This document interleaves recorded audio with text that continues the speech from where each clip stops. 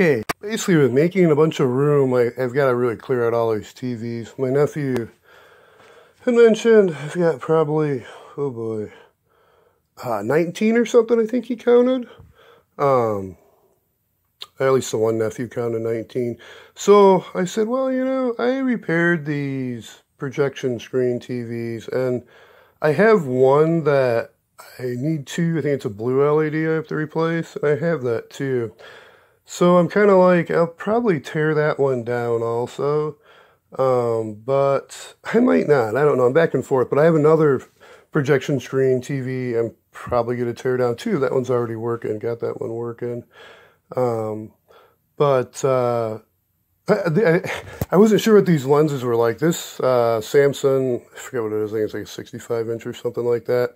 They're going to be the same lenses. This is a Mitsubishi, I think it's a 55 inch. This is uh, one of the last of the uh, the old uh, higher voltage uh, bulbs, um, where the others are LED. Actually, the one that's working, I think, might be the older bulb style now I think about it. These Samsung 2 are the LED style. This one looks like it has the um, uh, point, at least from just visually looking at it in the center. This one looks like has a point offset. but what kind of motivated me to do this was, um, excuse me, um, to uh, try to save energy. So I got the kilowatt meter. I'm kind of assessing what I'm um, using for energy. And one of the sources of energy that I use is making tea and boiling water. So cooking. So I don't think I'll cook with these, but I'm curious to see what I can do to make an apparatus to boil water. So my thought is, and I just wanted to record this to get it down, was make a blind because I kind of want to automate this. How can I make this safer? So I'm, i think I'm going to leave the screens. I think it'd be cute having Mitsubishi, Samsung, and then still having the buttons and maybe even use some of the controls to like how to really arm it. it sounds it sounds like weapony or something. Disarm and disarm, but it is kind of dangerous. So you want to have you know, I want to have control so I can basically. I was thinking Venetian blinds, like you know, uh, shutters, um, or just have uh, like a flat um, flock sheet cloth. Just you know, raises up, raises down. Um, so you know I can engage and disengage the apparatus. And then probably have some kind of tracking because it's kind of neat. There's like already little holes there. So, you know, I can have the manual, just a threaded rod bolt going through so the shadow disappears. And then probably have something also uh, would be neat for more controls, you know, just to see what can be done. Because um, I think tracking would be really handy. So then you don't have to move it over time. You just set it and go.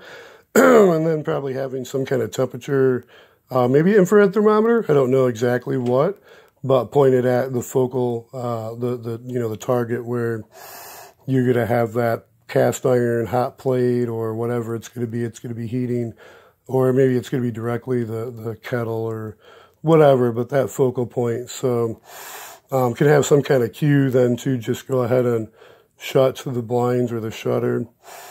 Um, but yeah, I want to get that down. It's kind of a little long-winded. Three minutes, maybe I'll just do a real brief quick. Have the Samsung offset Fresnel lens.